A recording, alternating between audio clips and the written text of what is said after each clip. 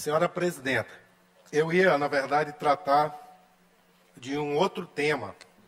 Me inscrevi para tratar de um outro tema, mas é um tema que eu posso tratar na sessão de amanhã.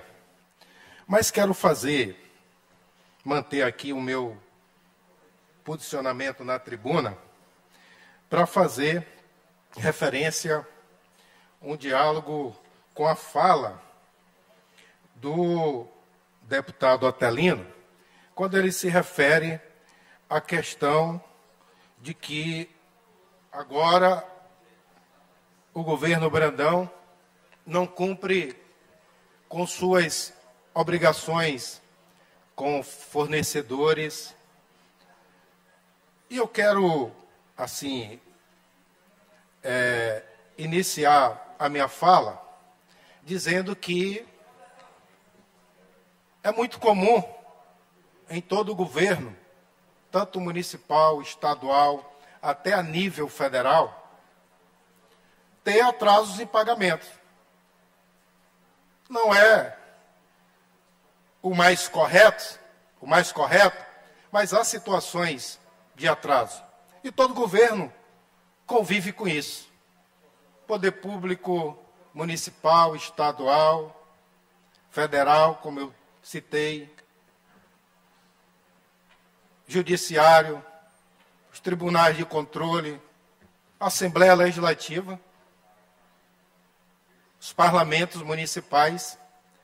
É muito comum, porque às vezes, não só por falta de recurso em caixa, que nem sempre é essa a situação, a burocracia, deputado Roberto, acaba fazendo com que alguns pagamentos não sejam feitos nos prazos estabelecidos.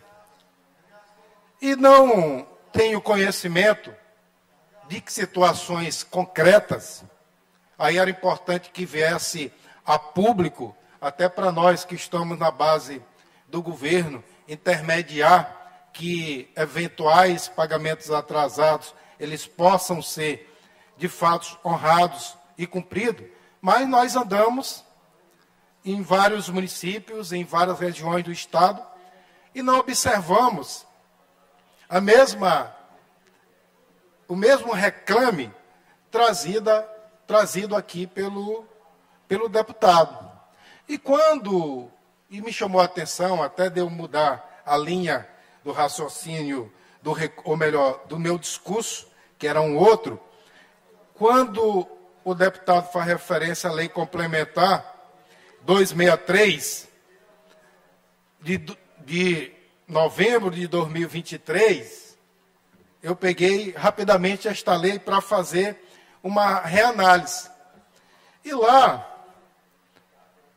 nós, deputados que aprovamos esta lei aqui, a lei estabelece, autoriza o Poder Executivo, de fato, renegociar o pagamento de despesas empenhada reconhecida pelo Tesouro Estadual, relativa ao exercício financeiro de 2023.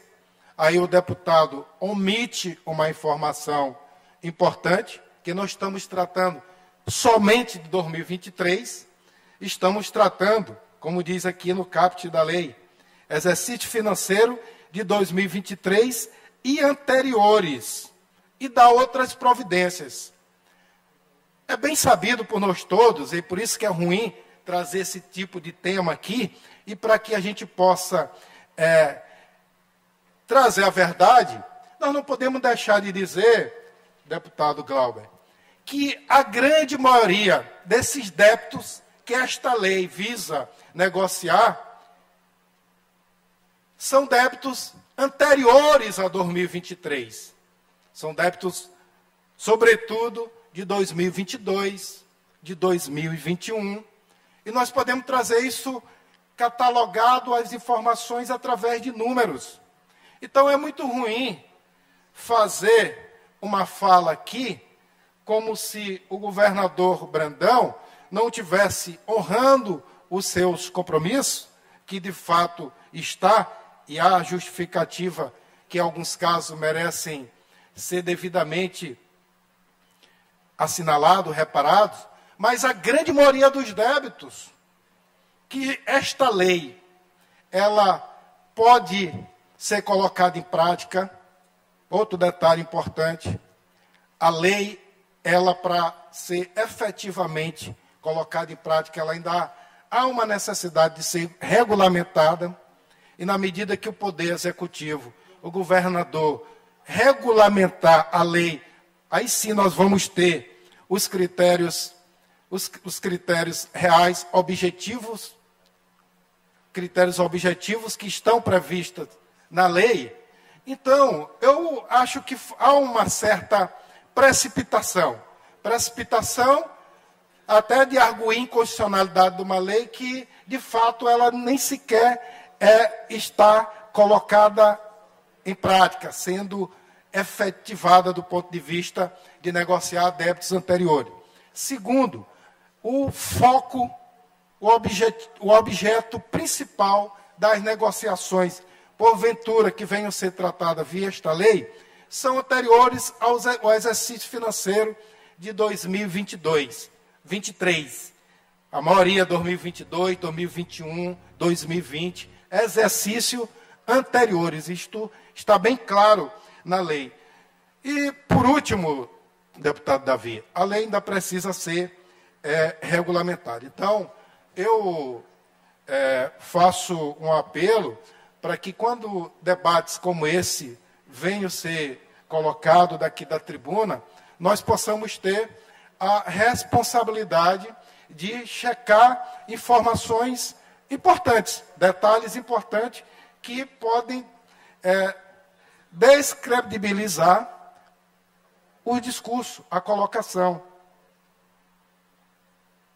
Pagamentos atrasados, toda gestão pública tem. Se for lá no Poder Judiciário, você vai encontrar. Se for no Poder Legislativo, vai encontrar. E o Poder Executivo é muito comum, sobretudo após, após é, o governo do presidente da República anterior, em 2020, 21, 2022, que deu calote nos estados com a famigerado é, é, lei que reduziu impostos da gasolina, da telecomunicação, energia elétrica, que fez com que os governos estaduais e, por consequência, os municípios pudessem arrecadar menos. Então, senhora presidenta, obrigado pela tolerância do tempo. Era esse registro que eu queria fazer. Estamos também à disposição de ver, eventualmente,